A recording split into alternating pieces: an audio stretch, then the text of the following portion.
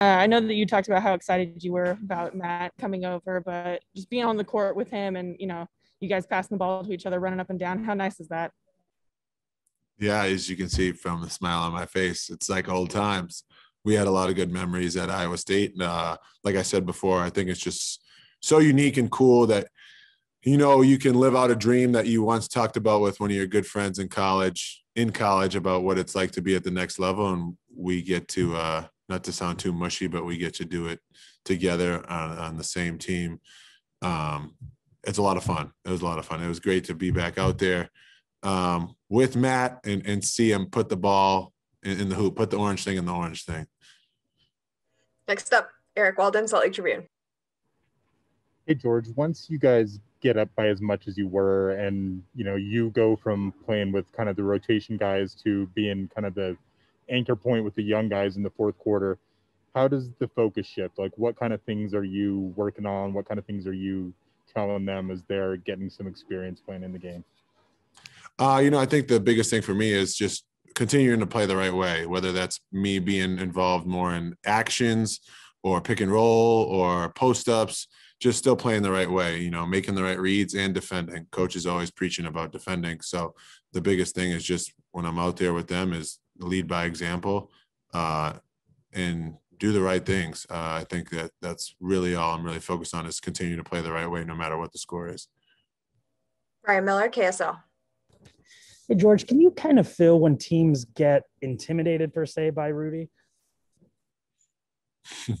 uh, for sure. When you know, they're not taking shots at the rim or they're taking long contested twos. Um, I don't know what word you'd use it, but the gravity that Rudy has as a defender with, you know, keeping guys out of the paint is uh, one that I, is like one I've never seen. Uh, you know, it's realistically the way we play defense is, you know, if your guy does beat you, you know, continue to stay on his hip and good luck, you know, because I mean, Rudy's seven two. He's a skilled shot blocker. He's not just big, but you know he's skilled at what he does, and he has a great ability if he's not going to block the shot to just make guys miss. So um, there's a reason why he's a two-time defensive player of the year, and with everything that's being said, he should be the three-time defensive player of the year. Um, just putting that out there. No, I don't think anybody affects the game more defensively than Rudy does, and that's just a fact. All right, next up, Kristen Kenny, Just TV facing Memphis for the third time in six days in Memphis. Uh, what do you expect this time around? Uh, dogfight. Uh, you know, n- nothing less than that.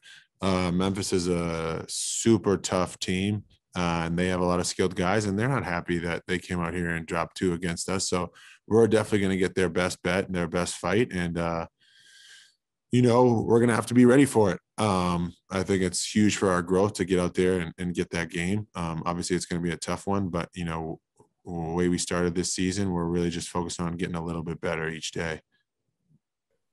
Last question, Andy Larsen, Salt Lake Tribune. George, you're now seasoned veteran, so I'm going to ask you about the young guys, and in particular, you know, you're playing with Trent, you're playing with Elijah, you're playing with Jarrell Brantley. What do you notice from those guys and their minutes so far, and and kind of what are you excited about with with them? Um, you know, I think the biggest thing uh, that I'm excited for them is you kind of see a little bit of your journey in them. You know, building brick by brick with you know every five to ten minute stint that they get, and the stuff that you see them work working endless hours on in pickup when they play three on three or four on four and in practice and in their workouts and you get to see that implemented um, in their game when they're out there. And uh, there's a quote you know jeff van gundy spoke to my college team one time and told me you know when you find like real happiness in the game is when you can actually be happy for someone else's success. And sometimes i catch myself acting like a silly schoolgirl jumping up and down when they're making threes and you know doing the moves that they've worked on. And that's the best part is because i know what it was like to grind and get to that point and work hard to get your opportunity and to see those guys have that success and see the stuff that they work hard on work is like uh thrilling. You know it's thrilling for me because i'm happy for them because i